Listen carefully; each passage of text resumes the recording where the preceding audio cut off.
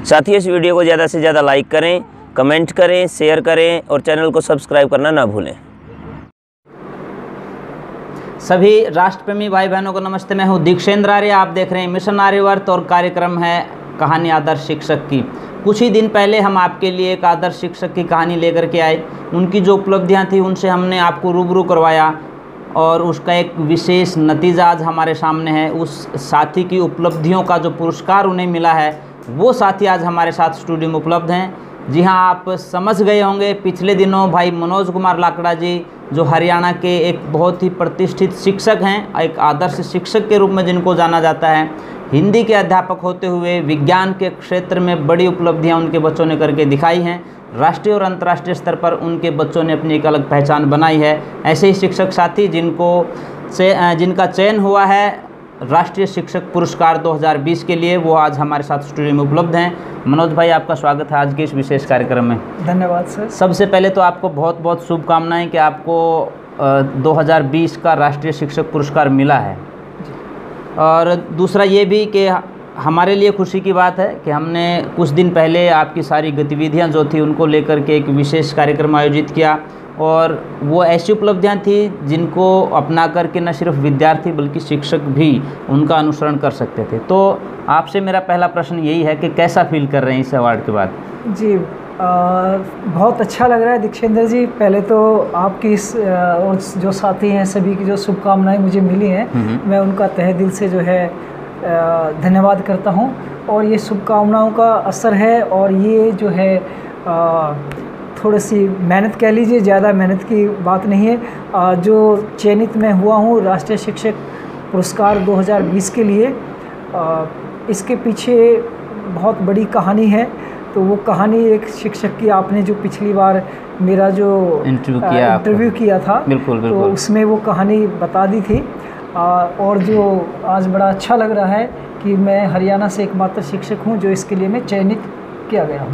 तो मनोज भाई आपसे ये भी जानना चाहेंगे क्योंकि पहले आपने बहुत विशेष कार्य किए समाज के लिए और मैंने पिछले कार्यक्रम में एक टिप्पणी की थी कि मनोज जी के कार्य वो न सिर्फ़ विद्यार्थियों के लिए बल्कि शिक्षकों के लिए भी अनुकरणीय हैं और शिक्षकों के लिए भी एक मार्ग प्रशस्त करते हैं कि आप इस तरह के कार्य करके समाज में एक उपलब्धि हासिल कर सकते हैं। और मुझे लगता है कि मेरी बात वो आज चरितार्थ हुई है कि आज आपने अपने आप को रोल मॉडल के रूप में प्रस्तुत किया है और मुझे लगता है कि आपको देख करके न सिर्फ़ विद्यार्थी बल्कि शिक्षक भी ये प्रेरणा ले सकते हैं कि किस प्रकार से एक हिंदी के पद पर रहने वाला अध्यापक और समाज में कहिए और इस शिक्षा के क्षेत्र में कहिए अलग अलग उपलब्धियाँ हासिल करके दिखा सकता है। तो आपको कैसे कितना प्राउड फील होता है कि हिंदी का अध्यापक और इस तरह की उपलब्धियाँ?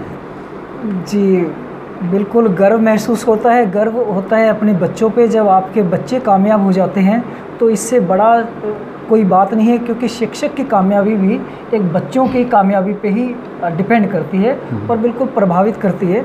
दूसरी बात कि अगर बच्चों के साथ हम जुड़े रहें उनके प्रति हमारी जो भावनाएँ हैं और देखो जिस समाज में हम रह रहे हैं और वो समाज के प्रति हमारा जो लगाव है या जो समाज को आज हम बिल्ड कर देंगे जितने भी हमारी जो नैतिक मूल्य है या नैतिक शिक्षा है या और दूसरी शिक्षाएँ हैं जैसे आईटी क्षेत्र है या साइंस क्षेत्र है अगर आपके बच्चे उसमें अगर बहुत अच्छी प्रतिभाएँ आपने तराशने का काम किया है और वो सफल हो जाते हैं वही जो समाज है वो लौट करके हमें ही अच्छी चीज़ें प्रदान करेगा। तो मेन उद्देश्य हमारी शिक्षा का ये होना चाहिए कि हम जो है एक ऐसे समाज का गठन करें जहाँ पे बहुत अच्छे इंसान बनाने की बात हो और क्योंकि आजकल सारा इको अच्छे इंसान बनाने की बात करें और वेद में आता है मनुर्भाव मनुष्य बनो मनुष्य बनने की बात वेद में आई है। वेद में कहीं नहीं कहा कि आप हिंदू बनिए मुसलमान बनिए सिख बनिए या ईसाई बनिए। एक अच्छे इंसान बनने की बात कही और आपने भी कहा कि शिक्षा का उद्देश्य कहीं ना कहीं अच्छे मानों का निर्माण करना होना चाहिए। एक सामाजिक व्यक्ति का ये दायित्व बनता। आपने समाज की बात कही है और एक सामाजिक क्षेत्र में मनोज भाई से जुड़े हुए कुछ शिक्षक साथियों से मैं आपकी बात करवाना चाहूँगा। हमारे साथी जो को डायरेक्टर हैं मिशन आर्यवर्त के हरपाल आर्य जी, वो किन से बात करवा रहे हैं? मिलते हैं भाई मनोज जी के कुछ विशेष शिक्षक साथियों से।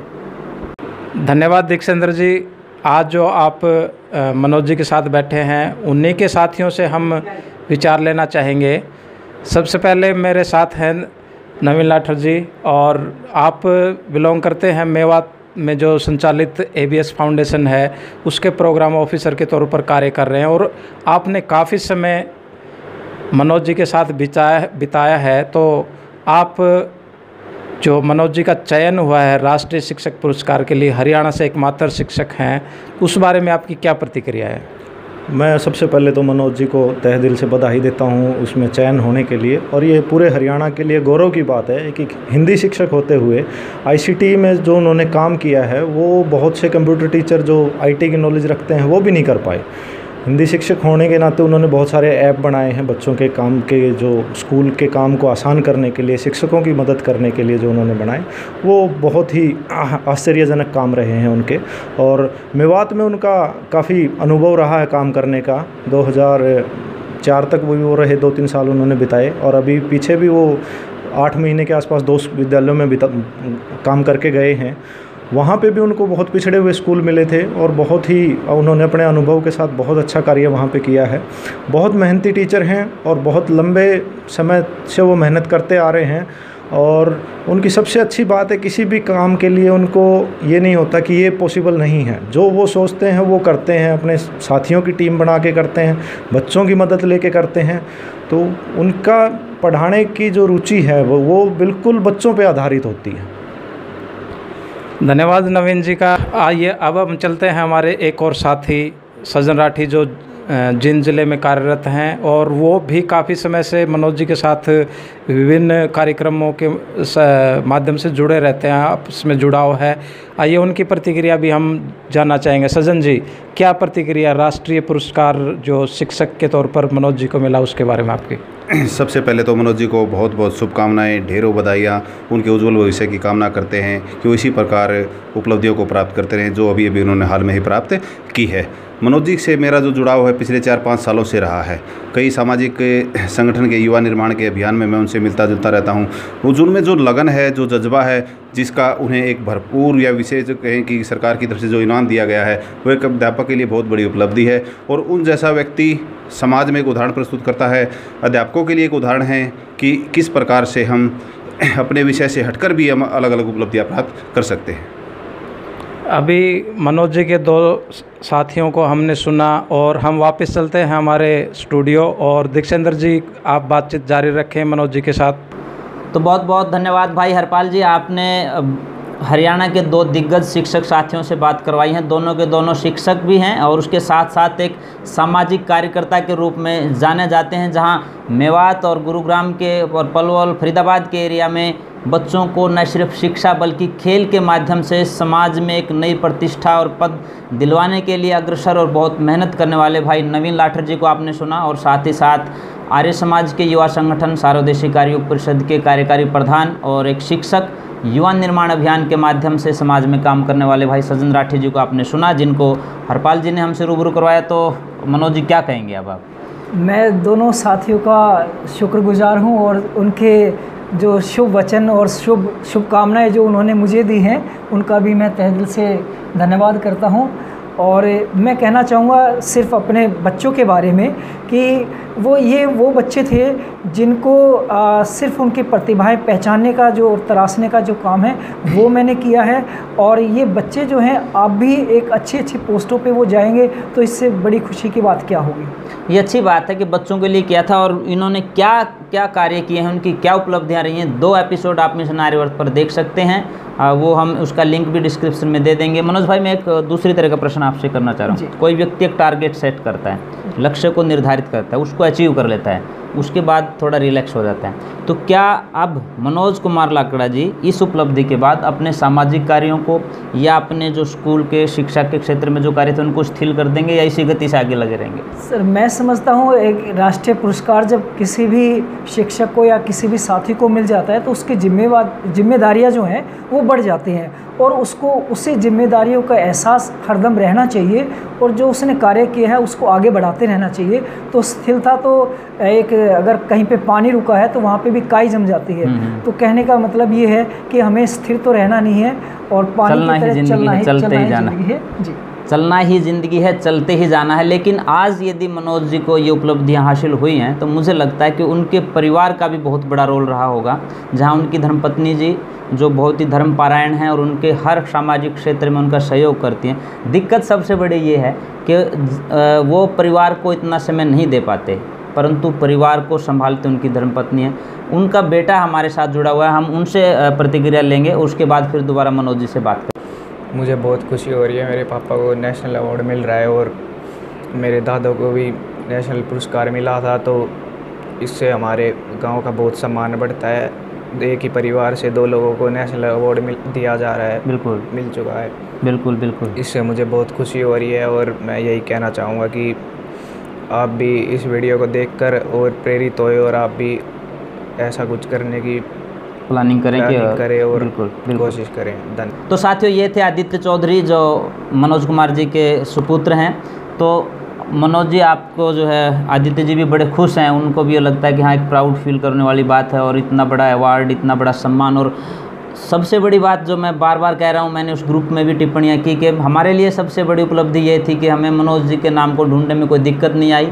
47 सन सैंतालीस साथियों के नाम पूरे देश से छांटे गए। उनमें सबसे ऊपर जो लिखा हुआ नाम था मनोज कुमार लाकड़ा जी उसके बाद ज़्यादा लिस्ट देखने की ज़रूरत नहीं पड़ी। हालाँकि सभी साथियों को सैंतालीस के सैंतालीस साथियों को मैं शुभकामनाएँ देता हूँ जम्मू कश्मीर से लेकर के तमिलनाडु तक और इधर गुजरात से लेकर के राजस्थान के लास्ट कोने तक जिन जिन साथियों को भी ये सम्मान मिला है वो इस देश का गौरव है। सबको शुभकामनाएँ। मनोज जी अब आ, आपका हम एक मैसेज चाहेंगे खास करके विद्यार्थियों के लिए। अध्यापकों के बारे में क्या कहेंगे वो इसके बाद पूछेंगे। जी सभी विद्यार्थी जो हैं वो मेरे सभी पीरे रहे हैं, जो मेरे से, जो मेरे से पढ़े हैं और जो दूसरे स्कूलों के भी विद्यार्थी हैं, मैं उनसे भी कई स्कूलों से मैं जुड़ा हुआ हूँ और उनके लिए स्कॉलरशिप वगैरह ये चीज़ें जो हैं वो मैंने करवाई हैं और साथ में करी भी हैं। तो मैं चाहता हूँ कि हर बच्चा जो है वो अपने क्षेत्र में आगे बढ़े और लगन के साथ बढ़े क्योंकि मेहनत करते रहना चाहिए उसका फल जो है उसको ज़रूर मिलता है। तो मेरा संदेश यही है कि बच्चे जो हैं अपने काम के प्रति या अपनी शिक्षा के प्रति जुड़े रहें। तो आप शिक्षकों को क्या आप अपनी तरफ़ से मैसेज देना चाहेंगे? जो शिक्षक खास करके रनर अप रहे या जिनका, जैसे हरियाणा से बेस्ट थ्री गए और वो नहीं ले पाए अवार्ड कहीं ना कहीं आपके साथ भी कंपटीशन था तो उनके साथ क्या आपका आज भी कंपटीशन रहेगा या उनके प्रति क्या शब्द आप क्या प्रयोग करना चाहेंगे? भाई दीक्षेंद्र जी, देखिए कंपटीशन जो है, वो शब्द कैसा भी है, लेकिन मेरे लिए बड़ा प्रिय शब्द है कि क्योंकि जहाँ पे कंपटीशन शब्द हट गया तो फिर कोई बात ही नहीं है। हमें प्रतिस्पर्धा तो करनी चाहिए और एक अच्छी भावना के साथ करनी चाहिए। तो जो शिक्षक साथी रह गए हैं उनके लिए क्या संदेश देंगे? वो जो अचीव नहीं कर पाए बिल्कुल लास्ट कॉर्नर के ऊपर पहुँचने के बाद भी वो इस कामयाबी को नहीं छू पाए हैं उनके लिए क्या संदेश देंगे? जी आ, मैं तो इसके बारे में यही कहूँगा कि जितने भी साथी हैं वो दोबारा से जो है मेहनत खैर उन्होंने कर रखी है तो उसको थोड़ा सा निखारने की बात है। और आ, हो सकता है कि आने वाले समय में जो मेरे साथी जो प्रतिस्पर्धा में पीछे रह गए हैं और ये पीछे रहने की बात नहीं है ये थोड़ा सा ये है कि काम उन्होंने किया है सिर्फ़ उसको तराशने की बात है। और ज़रूर जो शिक्षा विभाग है और जो हमारे अधिकारी हैं या क्या कहते हैं उनके बच्चों की दुआएँ हैं और साथियों की शुभकामनाएँ ज़रूर उनको भी आगे लेकर के जाएगी। तो ये हैं मनोज लाकड़ा जी, जिन्होंने बताया कि किस प्रकार का एक सफ़र रहा है बिल्कुल स्थानीय शिक्षक से लेकर के राष्ट्रीय स्तर तक के अवार्ड का। तो मनोज भाई, आपसे मैं लास्ट में बस इतना ही पूछना चाहूँगा क्योंकि आपके जो पिताजी हैं, वो सभी जानते हैं, वो भी एक देश की बहुत बड़ी धरोहर के रूप में जिनको जानते हैं। अंतर्राष्ट्रीय स्तर पर उन्होंने देश को बहुत बड़ी ख्याति दिलवाई, जापान में जा कर के वो मेडल लेकर के आए। आज आप भी नेशनल स्तर पर आपका एक सम्मान जो है, वो सुनिश्चित हुआ है। तो इस स्तर पर यहाँ आकर के आप क्या कहना चाहेंगे? कि पिताजी को भी आज आप याद कर रहे होंगे कि पिताजी होते तो वो हमें जो है और ज़्यादा उनको प्रसन्नता होती है ऐसा कुछ? दीक्षेंद्र जी बिल्कुल मेरे जो रोम रोम है वो कई बार जो है जब आप पिताजी की बात करते हैं जिस दिन मुझे पुरस्कार मिला ये घोषणा हुई थी चयनित हुआ था उस दिन मुझे पिताजी बहुत याद आए थे और क्योंकि ये उनकी भी दुआ थी और वो ये हर बार कि बेटा ये काम करना है वो काम करना है आपको आगे बढ़ना है। तो इस तरीके का जो है वो प्रेरण प्रेरणा सूप मेरे रहे हैं। साथ में मुझे खुशी इस बात की है कि पिताजी को वी वी गिरी जो हमारे राष्ट्रपति थे आ, उनकी तरफ़ से सम्मान पत्र मिला था। और साथ में आ, जापान और आ, दूसरे देशों और दूसरे खेलों के लिए उन्होंने काफ़ी कुछ काम किया था। तो मुझे गर्व है कि अपने ही गाँव में और एक ही परिवार में हम दो जो है राष्ट्रपति राष्ट्रपति पदक से सम्मानित हुए हो जाएँगे और कहीं ना कहीं बच्चों पे दबाव रहेगा इसी ट्रॉफी को बनाए रखने के लिए कि वो भी राष्ट्रपति से सम्मानित हो। गाँव गाँव के जो ए, मेरे गाँव के जो पैतृक गाँव के जो लोग हैं सरपंच हैं और वो भी ये आ, उनको भी गर्व महसूस होता है कि एक ही परिवार से दो नेशनल अवार्ड सबसे बड़ी गर्व की बात तो है कि आज पूरा हरियाणा गर्व कर रहा है आपके ऊपर भी और आदरणीय बाबूजी के ऊपर भी जिन्होंने अंतर्राष्ट्रीय स्तर पर इस हरियाणा की पहचान बनाई है। अंत में मैं आपसे ये पूछना चाहता हूँ ये व्यक्तिगत सवाल है आप मना भी कर सकते हैं। आपका ये अवार्ड किन को डेडिकेट है? मेरा ये जो अवार्ड है वो बच्चों को डेडिकेटेड है जो बच्चे जिनको मैंने पढ़ाया है और जो मेरे साथ रहे हैं कुछ बच्चे ऐसे थे कि जिनके जो माँ बाप हैं उन वो उन्होंने जो है उनको कहीं नहीं घुमाया। मैंने मुझे गर्व है कि मैंने उनको हरियाणा भोपाल हरिद्वार केरल और पता नहीं कहाँ कहाँ किन किन प्रतियोगिता में पूरा मैंने उन लोगों को उन बच्चों को जो है क्या कहते पूरा हरियाणा घुमा दिया। तो मुझे उन बच्चों पे जी उन बच्चों पे जो है मुझे गर्व है अपने विद्यार्थियों पे गर्व है। अपने विद्यार्थियों पर गर्व है मनोज लाकड़ा जी को और हमें गर्व है मनोज लाकड़ा जी के ऊपर। मनोज जी आपको पुनः एक बार फिर इस बहुत बड़े सम्मान के लिए पूरी मिशन आर्यवर टीम की ओर से हार्दिक शुभकामनाएँ। भाई दीक्षेंद्र जी आपका भी बहुत बहुत धन्यवाद जो आपने मुझे इस मंच पे और आपके और आर्यवेश जी के आशीर्वाद से जो है ये पुरस्कार जो है मुझे मिलने वाला है। आप सबका धन्यवाद। तो साथियों ये थे मनोज लाकड़ा जी मैं हूँ दीक्षेंद्र आर्य और आप देख रहे थे मिशन आर्यवर्त कार्यक्रम था कहानी आदर्श शिक्षक की। आज हम आपको रूबरू करवा रहे थे। अभी हाल ही में चयनित हुए राष्ट्रीय शिक्षक पुरस्कार 2020 के लिए भाई मनोज लाकड़ा जी। आप आ, आपको उनकी कहानी कैसी लगी? उनके कार्यों से आप क्या प्रेरणा लेते हैं? कमेंट बॉक्स में ज़रूर लिखें। यदि आपने अब तक चैनल को सब्सक्राइब नहीं किया है तो चैनल को सब्सक्राइब करें और अब इस वीडियो को आप social media format WhatsApp Facebook और ट्विटर इंस्टाग्राम जहाँ पर भी आप हैं इसको शेयर कीजिए ताकि और लोग भी समाज के इस बड़े और ऐतिहासिक कार्य से प्रेरणा ले सकें। जुड़े रहिए मिशन आर्यवर्त के साथ। धन्यवाद नमस्ते। धन्यवाद नमस्कार। साथियों इस वीडियो को ज़्यादा से ज़्यादा लाइक करें कमेंट करें शेयर करें और चैनल को सब्सक्राइब करना ना भूलें।